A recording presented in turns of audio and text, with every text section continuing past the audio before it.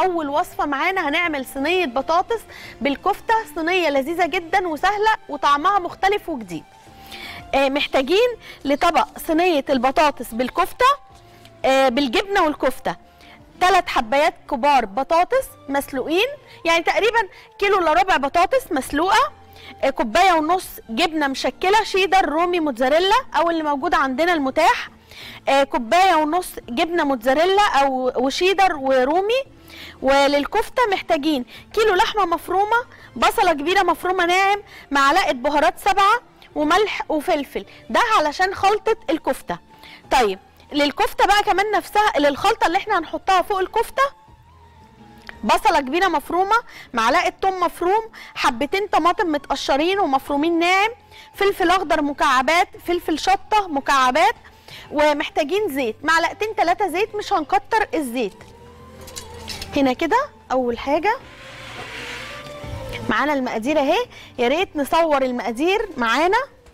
بسم الله الرحمن الرحيم. بالشكل ده. طلع طبق.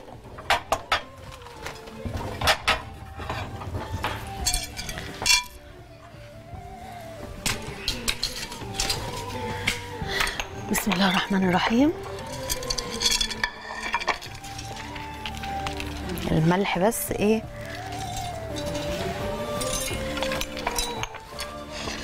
أول حاجة عايزين نجهز الكفتة بتاعتنا. بنجيب ال- ال- الخلاط بتاعنا الكبة ال food processor. بسم الله الرحمن الرحيم كده بالشكل ده. ببدأ أنزل معلقة معلقة. ببدأ أنزل معايا اللحمة المفرومة عليها. أنزل البصل.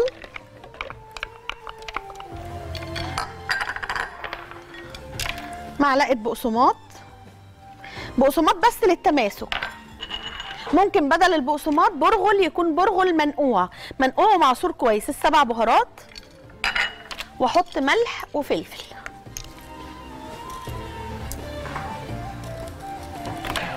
وما نكترش الملح عشان لسه في خلطة وهنحط فيها ملح والبطاطس هنحط فيها ملح.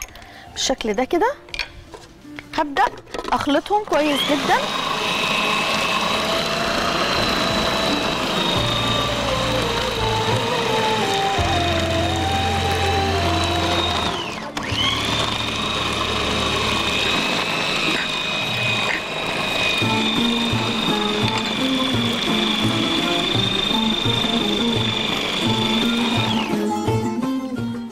كده. جهزت معايا خلطة الكفتة. هبدأ أخدها اطلعها تاني في الطبق بالشكل ده.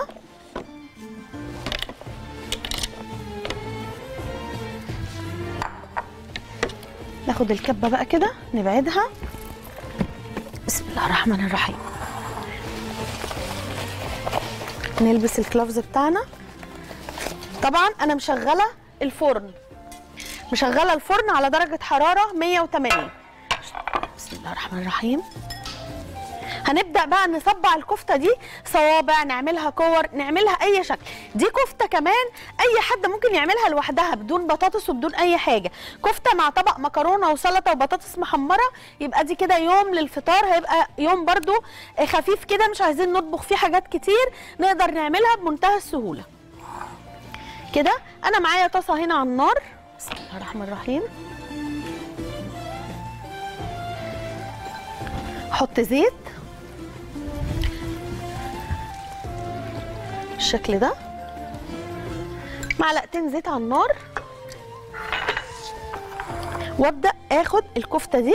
بعد طبعا ما عملتها وخلطت كل المكونات فيها هبدأ أصبعها كويس جدا بس لازم نسمغها كده مع بعض. لو مش عايزين نحط بقسماط ممكن نضيف برغل. نص كوباية برغل ننقعها في مية لمدة نص ساعة وبعدين نعصرها كويس جدا جدا وبعد كده ننزلها آه، بعد ما نعصرها نحطها في اللحمة ونفرمها مع البصل ومع بقية المكونات اللي إحنا حطيناها التوابل والملح والفلفل. كده بالشكل ده. ببدأ أعمل صوابع هتوصل عندي تبقى بالشكل ده. تمام؟ يبقى أنا بعد ما صبعتها احطها في الطاسة. فيها زيت وهبدأ على نار هادية. الكفتة دي هتنزل لي ميتها وبعد ما الكفتة تنزل ميتها وتشربها خلاص هتبقى معايا بالشكل ده. ممكن نعملها كور صغيرة. على فكرة وممكن كمان لو إحنا عندنا أولاد ما بياكلوش وبنشتكي من موضوع إن هم ما بياكلوش نقدر نشركهم نخليهم يغسلوا إيديهم كويس جدا ويجوا كده نمسكهم كل واحد يمسك حتة لحمة كده يعملها بقى صباع يعملها كفتة يعملها كور براحته خالص. دي بقى هتشجعهم إن هم ياكلوا. كده علشان ما ناخدش وقت أنا كده خلاص عندي الكفتة هتوصل للمرحلة دي. وإحنا مع بعض برضو هنسوي دول. هنا هبدأ آخد بقى صوابع الكفتة دي. بس هجيب لها إيه؟ حاجة كده بالشكل ده. هبدأ أشيل الكفتة من الطاسة. طبعا الكفتة هنا كده عندي مستوية تماما. بالشكل ده.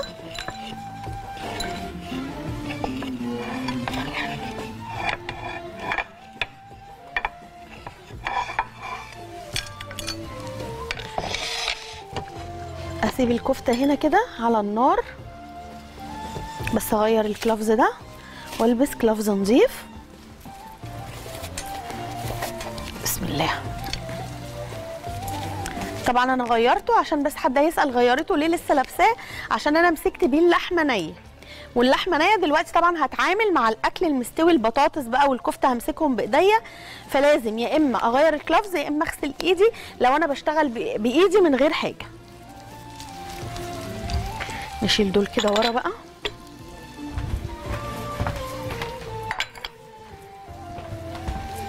هنا معايا كده شايفين على نار هادية جدا. أجيبها هنا كده. هاخد بقى هجهز التتبيلة اللي أنا هحطها فوق الكفتة على البطاطس. هنزل البصل. وأشوحه كويس جدا.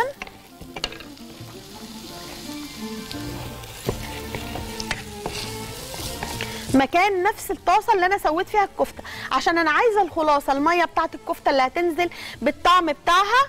كل الحاجات دي عايزاه يطلع لي في التتبيلة اللي إحنا هنعملها فوق الوش دي. هزود كده بس معلقة زيت ومعلقتين زيت. هنا مقدار المواد الدهنية سواء سمنة زيت زبدة دي متروك لينا إحنا لتقديرنا إحنا. يعني حاجة كده تبقى إيه بالسنس معانا وإحنا شغالين. بسم الله الرحمن الرحيم. كده أهو بالشكل ده. هبدأ بس أشوحه مش عاوزاه يعني يغير لونه أنا عايزاه بس يدبل. وأبدأ أنزل عليه بقية المكونات. هنا عندي القارب اللي أنا هشتغل فيه على طول ومعايا هنا البطاطس سخنه بسم الله الرحمن الرحيم. البطاطس دي إحنا لسه طافيين عليها وسخنة. بصوا ههرسها كده بالشكل ده. أهو كده أهو. الهراسة بتاعت الفول ما عنديش هراسة فول عندي الشوكة في البيت هتبقى برضو لطيفة جدا. أهو بالشكل ده أهو. ما اضربهاش بقى في الكبة يعني مثلا ممكن حد يقول لي إيه طب ما أنا أسهل آخد البطاطس دي في الكبة. لأ أنا ما هرسهاش في. يعني ما أحطهاش في الكبة لأن الكبة معايا هتعمل لي عرق للبطاطس إحنا مش عايزين يبقى فيها عرق خالص. العرق اللي هو حد يسأل يعني إيه عرق للبطاطس هتبقى بتمط كده نيجي ناكلها نلاقيها أكن فيها إيه بتمط إحنا عايزين ناخد المطة دي من الجبنة اللي إحنا هنحطها عليها دلوقتي. هنا بس هاخد التوم بعد ما البصل دبل كده هاخد معلقة توم عشان ندي طعم حلو. الفلفل الأخضر والفلفل الشطة. طبعا اللي بيحب الشطة أوكي اللي ما بيحبهاش يقدر يستبعدها. بس الأيام دي اللي هو الفلفل الأخضر الشطة اللي موجود في السوق اللي هو المنفوخ ده شوية ما بيبقاش حامي قوي زي الفلفل اللي هو ال- ال- البلدي الصغير الحامي. يعني ده الحموم بتاعه أهدى شوية فحتى لو حطينا منه مش هنحس بيه قوي يعني مش هيبقى فيه طعم شطة قوي يعني. اللي عايز بقى شطة أكتر ممكن يحط هريسه ممكن لو الشطة البلدي دي موجودة يحط منها. كده بالشكل ده. هبدأ آخد عندي الطماطم. بسم الله الرحمن الرحيم.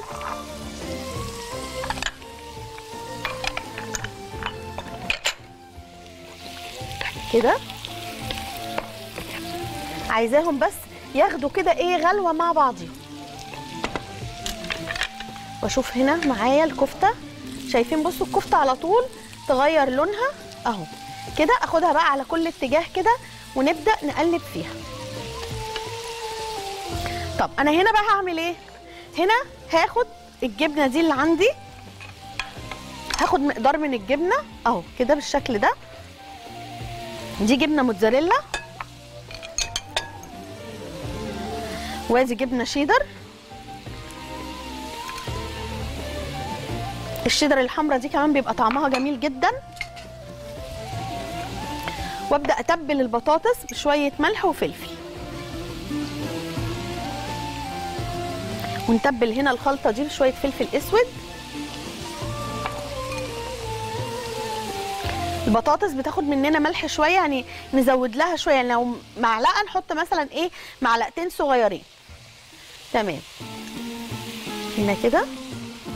ونخلي بالنا لو هنحط أنواع جبن ليها ملح ليها طعم في ملح زي الجبنة الرومي مثلا نبقى مقللين الملح لأن الجبنة الرومي بتبقى حادقة.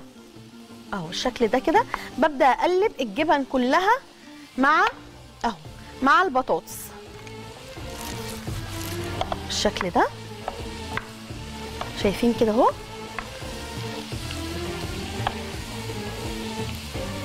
طعمها مميز وحلو جدا جدا. الوصفة دي يعني أتمنى إن شاء الله تجربوها. ويلا مستنية كل حبايبنا يتصلوا بينا على الأرقام الظاهرة عندكم على الشاشة. إن شاء الله تشوفوها تتواصلوا معانا. وأي حد محتاج أي وصفة علشان عنده عزومة عايز يسأل عن أكلة معينة عاوز يعملها على الفطار يتصل بينا وإن شاء الله هجاوبه على كل اللي أنتوا عايزينه بإذن الله. هنا بالشكل ده كده.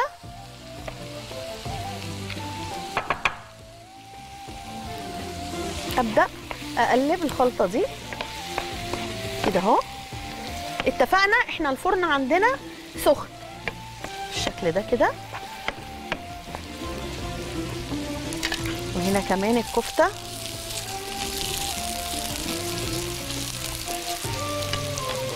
هبدأ بقى آخد صوابع الكفتة اللي عندي دي أرصها وأدخلها كده جوه البطاطس اللي عندنا في آه، البرام أو في القارب البايركس أو في الصينية اللي إحنا بنشتغل فيها.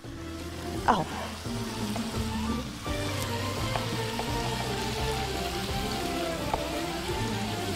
بسم الله الرحمن الرحيم. كده أهو. اللي هيطلع حتة بطاطس هيطلع معاها صباع كفتة ولا صباعين كفتة مع طبعا طبق سلطة مع طبق مكرونة مسلوقة رز أبيض ولو طبق شوربة وسلطة والله يبقى الموضوع كمان بيبقى ممتاز ما بنحتاجش لأي حاجة تانية جنبه. ويوم يتقضى من أيام شهر رمضان إحنا كل يوم بنطبخ وكل يوم عايز مننا أكل مختلف. هنا؟ هنا الكفتة دي أنا عايزة برضو ألحق ان هي تاخد تسوية علشان نبدأ ننزلها معانا في الفرن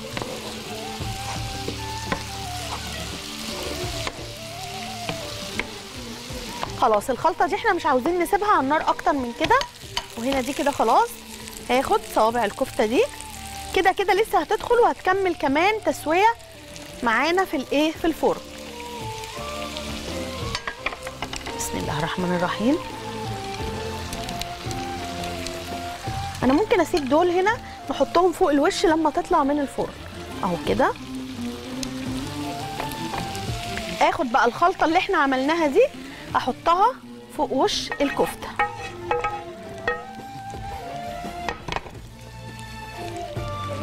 كده أهو. وصفة لذيذة جدا. إن شاء الله تعجبكم قوي. جربوها وابعتوا لي قولوا لي إيه الرأي يعني رأيكم فيها إيه في الطعم الجميل ده.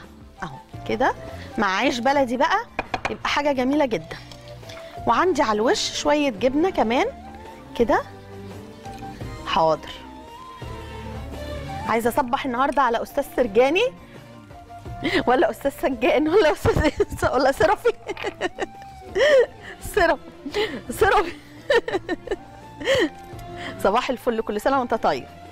وطبعا ما ننساش أستاذنا الكبير أستاذ طلعت ببعت له ألف صباح يعني ألف تحية وصباح كبير جدا جدا لأستاذ طلعت. آه حتة بطاطس نبعت له صباعين كفتة. كل سنة وأنتم طيبين. طقم الإخراج كله أستاذ ماجد طبعا بنقول له بيتفرج علينا نقول له كل سنة وانت طيب. بالشكل ده هروح بقى أدخلها الفرن. أنا حطيت على الوش بعد الخلطة شوية يعني مثلا ربع كوباية شيدر وربع آه كوباية موتزاريلا هندخلها على الفرن على طول. بسم الله الرحمن الرحيم.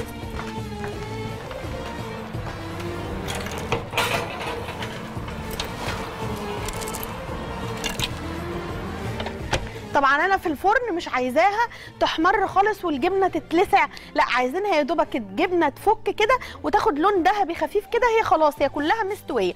وأنا هنا اللي معايا دول على النار هكمل تسويتهم على نار هادية جدا عشان لما تطلع من الفرن نحطهم على الوش كده يبقى اللي يشوف الطبق يعرف إن ده فيه جواه كفتة.